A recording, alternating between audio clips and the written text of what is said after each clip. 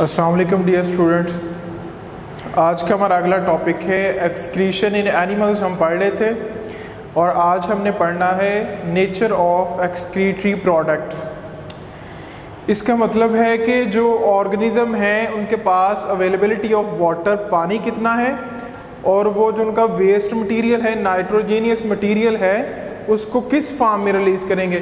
पिछले एक लेक्चर में हमने पढ़ा था कि जो अमोनिया है, वो ऑर्गेनिज्म एक्सक्रीट करते हैं, जिनके पास पानी बहुत ज़्यादा होता है।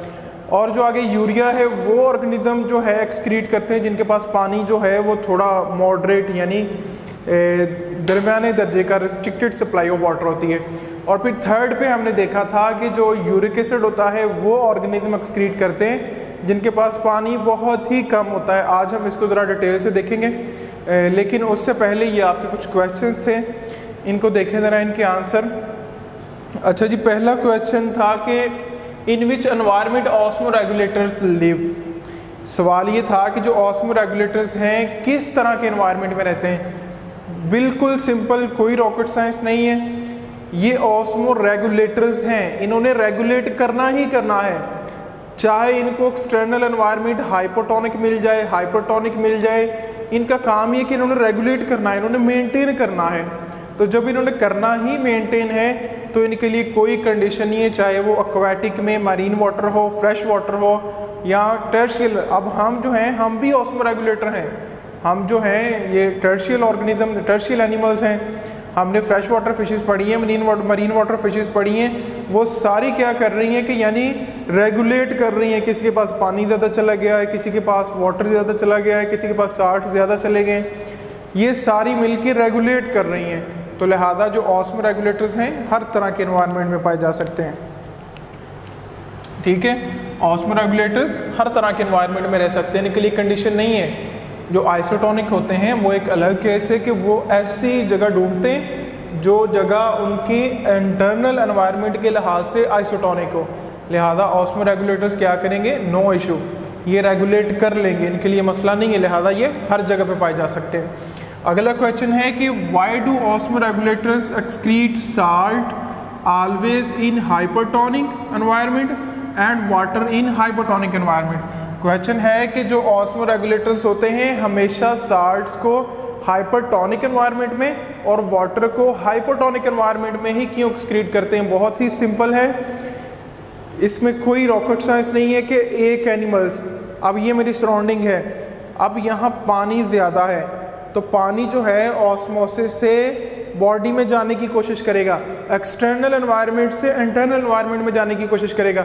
अब मैं ऑस्मो रेगुलेटर हूँ। मेरी बॉडी जो है फ्लडिंग ऑफ़ वाटर को बाहर निकालने की कोशिश करेगी। अब देखो कि उठाया कहाँ से जा रहा है? हाइपोटोनिक से।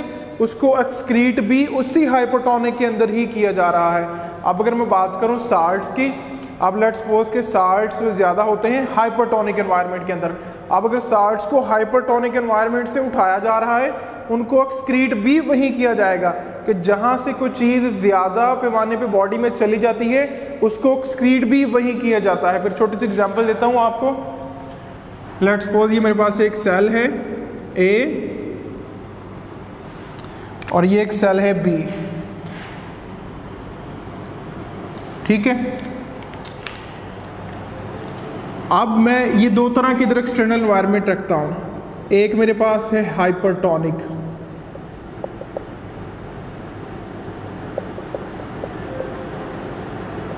हाइपरटोनिक एनवायरनमेंट का मतलब है, हमें पता है कि यहाँ साल्ट्स ज़्यादा होते हैं, ठीक है? और वाटर कम होता है। ये एक्सटर्नल एनवायरनमेंट क्या कहलाता है?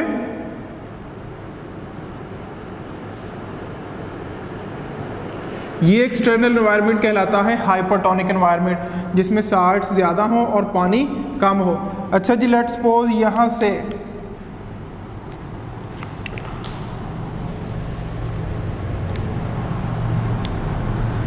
अच्छा इधर देखें ये मेरे पास साल्ट है। दीज आर साल्ट ठीक है? अब ये साल्ट्स यहाँ से, हमें पता है कि जहाँ एक चीज़ ज़्यादा होती है तो वो ज़्यादा से कम वाले इलाके की तरफ़ जाती है। ऑस्मोसिस थ्रू ऑस्मोसिस का रूल है ये। लेकिन जी, अब ये साल्ट जो है, यहाँ से इस सेल के अंदर जाएगा। चला गया सेल के अंदर। अब जब सेल के अंदर चला गया है तो इट्स मीन के इसके पास साल्ट्स एक्स्ट्रा चला गया है। यानी इसके पास जो साल्ट्स है, इसकी नॉर्मल अमाउंट से ज़्यादा चला गया है। अब ये सेल क्या करेगा? इसको बाहर एक्सक्रीट करेगा। बाहर क्या करेगा? एक्सक्रीट। हमें पता है कि बाहर कौन सा एनवायरनमेंट है? हाइपरटोनिक लिहाजा इसको उठा भी वहीं से रहा है और इसको फेंक भी उसी हाइपरटोनिक एनवायरनमेंट में ही रहा है। ठीक है? लेकिन बेटा, एक बात याद रखनी है कि जो साल्ट्स होते हैं, सल्यूट्स होता है जो, ये खुद ब खुद मूव नहीं करता।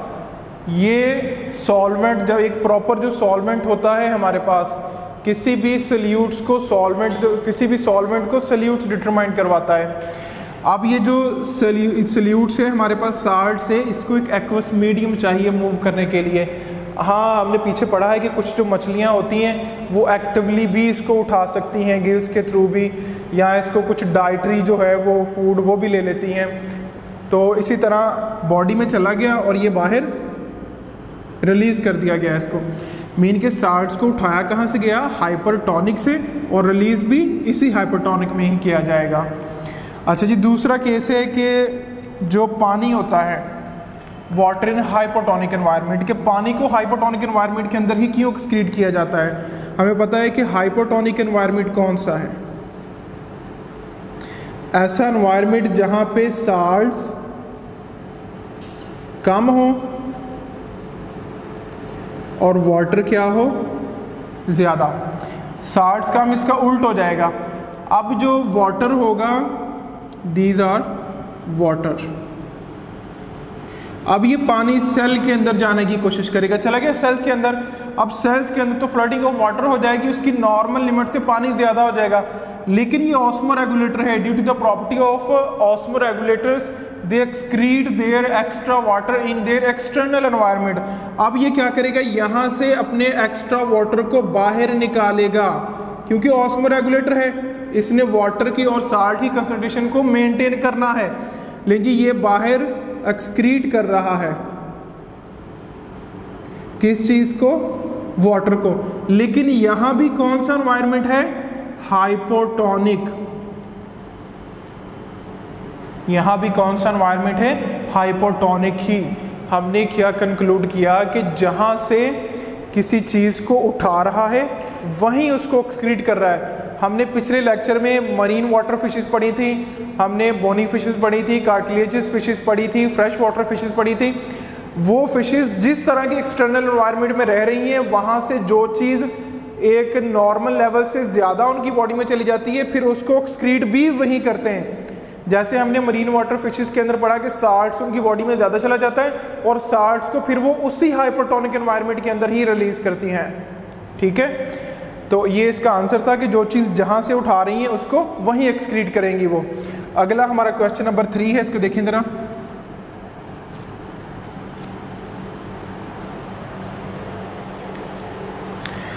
ये भी सिंपल है कि if osmoregulators face the shortage of water and salt how they will compensate कि अगर ऑस्मो रेगुलेटर्स के पास साल्ट्स और वाटर की शॉर्टेज हो जाए तो किस तरह उसको कंपनसेट करेंगे? बहुत बहुत ही सिंपल इसको भी मैं समझाता हूँ आपको। ये मेरे पास सेल ए और ये सेल बी अच्छा जी, ठीक है। तो पहली कंडीशन ऐसा एनवायरनमेंट जहाँ पे शॉर्टेज ऑफ़ वाटर हम ये ले लेते हैं शॉर्टेज ऑफ़ वाटर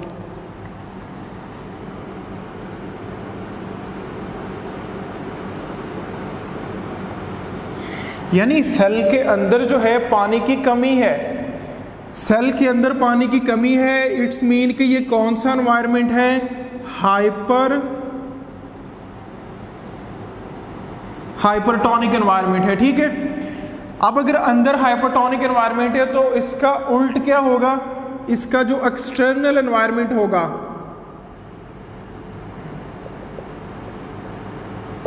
इसके एक्सटर्नल एनवायरनमेंट के अंदर अब यहाँ अगर अंदर हाइपोटोनिक है तो इसका एक्सटर्नल क्या होगा? हाइपोटोनिक एक्सटर्नल एनवायरनमेंट कौन सा होगा? हाइपोटोनिक यानी अंदर हाइपोटोनिक है, पानी की कमी है, लेकिन बाहर क्या है? हाइपोटोनिक है। अब यहाँ कंसंट्रेशन ग्रेडियंट बिल्डअप हो चुका है कि ज़्यादा कंसंट्रेशन वाले इलाके से यहाँ वाटर ज़्यादा है और अंदर पानी की शॉर्टेज है पानी कम है। अब यहाँ से पानी जाएगा सेल के अंदर और इस शॉर्टेज को पूरा करेगा। ठीक है? कि यानी उल्ट होता है। अगर अंदर हाइपोटोनिक है तो बाहर हाइपोटोनिक है। हमने पढ़ा है कि पानी ऑस्मोसिस के थ्रू ज़्यादा इलाके से कम इलाके की तरफ़ चला जाता है। और ये डिफरेंट ऑर्गेनिज्म के अंदर डिफरेंट स्ट्रेटजीज होती है कि उन्होंने पानी को किस तरह लेना है। पीछे हमने फिशेज की बात पढ़ी थी कि फिशेज जो है, अब ऑस्मोसिस के थ्रू भी पानी उनकी बॉडी सरफेस से भी चला जाएगा। और वो क्या करेंगी कि जो होता है वो जो उनका यूरन होता है वो भी वो क्या करते हैं कि कंसनट्रेटेड बनाना शुरू कर देते हैं ताकि पानी जो है उसको लॉस ना होने दें। वो जितना कंसनट्रेटेड यूरन होगा इट्स मीन पानी उनकी बॉडी में ज़्यादा सिक्योर होगा, ज़्यादा कंजर्व होगा, ठीक है? और इसके बरक्स दूसरा केस हमारे पास कौन सा है? कि शॉर्टेज ऑफ़ साल्ट अब ये ऐसा इन्वायरमेंट है, यहाँ शॉर्टेज है।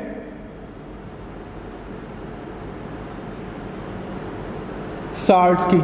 अगर यहाँ शॉर्टेज है साल्ट्स की तो यहाँ एक चीज़ ज़्यादा होगी, पानी। इट्स मीन ये कौन सा एनवायरनमेंट है हमारे पास? हाइपोटोनिक अब अंदर हाइपोटोनिक आ गया तो इसका एक्सटर्नल एनवायरनमेंट कौन सा होगा? इसका एक्सटर्नल होगा हाइपर हाइपोटोनिक इसका उल्ट हो जाएगा आप ठीक है? अब देखें जी, अगर अंदर हाइपोटोनिक एनवायरनमेंट है और बाहर हाइपोटोनिक एनवायरनमेंट है इसको शॉर्टेज किस चीज़ की है? साल्ट की। इट्स मीन कि हाइपोटोनिक के अंदर जो साल्ट्स होते हैं, वो क्या होते हैं? ज़्यादा, ठीक है? और पानी कम, ऐसे ही है। आप देखो, यहाँ साल्ट ज़्यादा है और यहाँ साल्ट्स कम। और यहाँ भी कंसनट्रेशन ग्रीडेड क्या है कि ज़्यादा से कम वाले इलाके की तरफ़ साल्ट जो है वो मूव करेगा। लेकिन जी, पानी साल्ट जो है वो बाहर से सेल के अंदर चला जाएगा। अब एक चीज़ का ख्याल रखना है कि साल्ट्स पानी की तरह खुद ब खुद मूव नहीं कर सकते। पानी तो ठीक है, खुद चला गया, लेकिन साल्ट्स कभी भी खुद अकेले मूव नहीं कर सकते। इनको एक्वस मीडियम चाहिए। और एक्वस मीडियम तो पानी कम है ऑलरेडी तो ये हमने पीछे पढ़ा था फिशेस क्या करती हैं, इस साल्ट्स को एक्टिवली उठाती हैं। यानी उन्होंने करना क्या है कि यानी अंदर साल्ट जो हैं, कम है ना, बाहर ज़्यादा है। तो ये उल्ट हो गया कंसनट्रेशन ग्रेडियंट का कि जैसे यहाँ से मैं मारकर छोड़ूँ तो ये नीचे जाएगा। नो एक्सपेंडिचर ऑफ़ एनर्जी लेकिन कम से ज़्यादा वाले इलाके की तरफ़ कुछ चीज़ लेके आनी हो। अब यहाँ काम में मैं बाहर से मैं इसको, यानी ये एनर्जी यूज़ करेगा जब अपनी तरफ़ कुछ चीज़ लेके आएगा। तो यानी मैं नीचे से इसको ऊपर फेंकूँगा तो मुझे एनर्जी लगाना पड़ेगी। तो एक्टिवली इनटेक करेंगे। एक्टिवली इनटेक सार्ट्स ठीक है? सार्ट्स को अपनी बॉडी में ये इनटेक करेंगे। और इनका जो यूरन होगा, उसको वो क्या करेंगे? डल्यूट बनाएँगे, यानी साल्ट्स को अपनी बॉडी में कंजर्व करेंगे। इनका यूरन क्या होगा? डेल्यूट यूरन होगा, ठीक है? यानी इसमें साल्ट्स कम होंगे। और कहता है कि ये ऐसा खाना खाएँगे इनटेक साल्टी फ़ूड यानी ये ऐसा खाना खाएँगे जिसके अंदर जो है वो साल्ट्स ज़्यादा हो। हमने मरीन वाटर फिशेस के अंदर भी पढ़ा था कि वो फिशेस गिल्स के थ्रू भी साल्ट्स को इनटेक कर लेती हैं, ठीक है? तो कुछ फिशेस जो हैं वो एक्टिवली इनटेक कर लेती हैं और कुछ फिशेस जो हैं वो पैसिवली भी इनटेक कर लेती हैं साल्ट्स को। पैसिवली मीन के कंसनट्रेशन ग्रीडेड जो है, उसके अकॉर्डिंग एक जो है अगर एनर्जी यूज़ हो रही है या नहीं हो रही तो उन्होंने क्या करना है? साल्ट्स को इनटेक कर लेना है।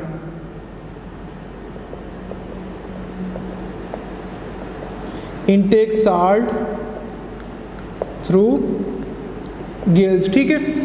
अगर तो कंसंट्रेशन ग्रेडियंट बिल्ड अप हो गया है तो ज़्यादा से कम की तरफ़ नो एक्सपेंडिचर ऑफ़ एनर्जी अगर तो ऑर्गेनिज्म को खुद उसको खींच रहा है तो फिर उसको एनर्जी लगाना पड़ेगी।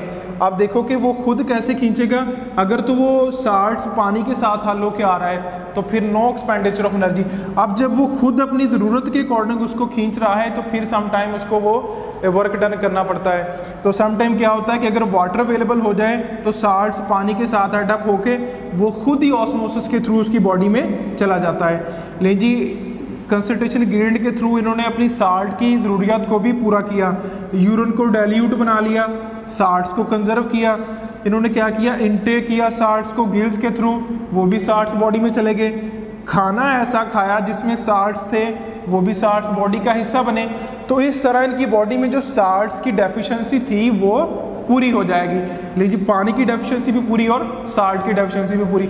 इसी बना पे हम इनको क्या कहते हैं? ऑस्मो रेगुलेटर्स अच्छा जी, अब आए ज़रा हमारे टॉपिक की तरफ़ नेचर ऑफ़ एक्सक्रीटरी प्रोडक्ट्स ठीक है? बहुत ही आसान टॉपिक है कि habitat with excess water supply हमने इसको तीन तरह से पढ़ना है, जहाँ पानी बहुत ज़्यादा हो, ठीक है? जहाँ मॉडरेट हो और जहाँ ना होने के बराबर हो। तो यहाँ डेफिनेशन के लिहाज से इंपॉर्टेंट है देखिए ज़रा यहाँ नाइट्रोजनस वेस्ट क्या होगा? अमोनिया जहाँ पानी बहुत ज़्यादा होता है वहाँ नाइट्रोजनस वेस्ट अमोनिया होता है। तो कह रहा है कि phenomena of removing ammonia from body is known as ammonotely ठीक है? अमोनोटैली तो यानी बॉडी का वे, वेस्ट नाइट्रोजन का बॉडी से निकलना अमोनिया की फार्म में वो क्या कहलाता है? अमीनोटैली कि एनिमल्स की बॉडी से नाइट्रोजनस वेस्ट का अमोनिया की फार्म में निकलना अमोनोटैली कहलाता है। और ऐसे एनिमल्स जो नाइट्रोजनस वेस्ट को अमोनिया की फार्म में रिलीज़ करते हैं, ऐसे एनिमल्स को अमोनोटैलिक एनिमल्स कहते हैं। तो वाटर रिक्वायरमेंट इसके लिए पानी कितना चाहिए? यानी एक ग्राम अमोनिया को बॉडी से बाहर निकालने के लिए 500 हंड्रेड वाटर चाहिए। और इसी तरह कह रहा है कि टू ग्राम अमोनिया को बॉडी से बाहर निकालने के लिए वन ये थाउज़ेंड एम वाटर चाहिए हमें। इसकी एग्ज़ाम्पल हमारे पास है एक्वाटिक एनिमल्स और इनवर्टिब्रेट्स इसी तरह इधर सेम जस्ट लाइक हम वो इन्वायरमेंट है जहाँ पानी ना तो बहुत ज़्यादा हो, ना बहुत ही कम हो। यहाँ नाइट्रोजनस वेस्ट है यूरिया ठीक है? तो कह रहा है कि phenomena of removing urea from body is known as ureotely यानी ऐसा अमल जिसमें नाइट्रोजनस वेस्ट को यूरिया की फॉर्म में बॉडी से बाहर निकाला जाता है, ऐसे फिनोमिना को हम यूरियोटैली कहते हैं, ठीक है? और ऐसे एनिमल्स जो नाइट्रोजनस वेस्ट को यूरिया की फॉर्म में बॉडी से बाहर निकालते हैं, उनको यूरिकोटैलिक एनिमल्स कहते हैं, ठीक है? इसके लिए भी वाटर जो है वो रिक्वायरमेंट है, ये एम उसके लिए इंपॉर्टेंट है, इसको याद रखना है कि एक ग्राम यूरिया को बाहर निकालने के लिए हमें 50 एम वाटर चाहिए, ठीक है? और 2 ग्राम यूरिया को बाहर निकालने के लिए 100 एम वाटर चाहिए। एग्ज़ाम्पल हमारे पास मैमल्स है शार्क्स और अम्फीबियन है। तो ये डेफिनेशन इंपॉर्टेंट है। यूरियोटैली क्या है? यूरियोटैलिक एनिमल्स क्या हैं? अमोनोटैली क्या है? अमोनोटैलिक एनिमल्स क्या है? इसी तरह इधर habitat with shortage of water ठीक है? यहाँ नाइट्रोजनस वेस्ट है यूरिक एसिड और just like phenomena for moving uric acid from body known as uricotelic ठीक है? और एनिमल्स जो यूरिक एसिड को रिलीज़ करते हैं यूरिकोटैलिक एनिमल्स ठीक है? यहाँ यूरियोटैलिक और ये यूरिकोटैलिक और वाटर रिक्वायरमेंट कि वन ग्राम यूरिक एसिड को बॉडी से बाहर निकालने के लिए वन एम एल वाटर चाहिए। इसी तरह टू ग्राम यूरिक एसिड को निकालने के लिए टू एम एल वाटर चाहिए। एग्ज़ाम्पल है, हमारे पास बर्ड्स रिप्टाइल्स स्नेल्स वगैरह। कुछ भी मुश्किल नहीं था। डेफिनेशन के लिहाज से ये इंपॉर्टेंट है। Ammonotely ammonotelic ureotely ureotelic uricotely uricotelic इनमें सम टाइम वो डिफरेंस पूछ लेता है। इसको आपने अच्छे से देख लेना है, समझ लेना है। थैंक यू अल्लाह हाफिज़